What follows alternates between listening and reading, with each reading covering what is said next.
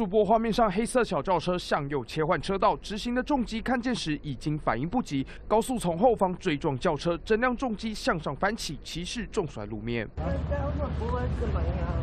不 会会不会怎么样？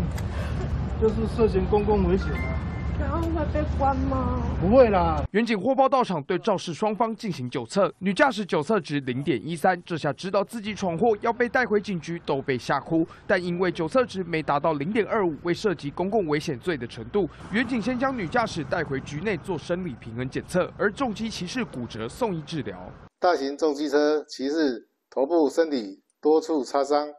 手部骨折送医治疗。车祸发生在高雄三明民族一路二十七号凌晨十二点多，重机零件四散路面，车身严重扭曲变形，轿车后挡风玻璃全碎，钣金凹折，还有刮痕，可见车祸当下撞击力道相当大。警方初判女驾驶变换车道没礼让直行车，其实通过闪黄灯路口没减速，双方都有肇事责任。而女驾驶事后生理平衡检测观察合格，详细的车祸原因还要进一步理清。以上最新主播。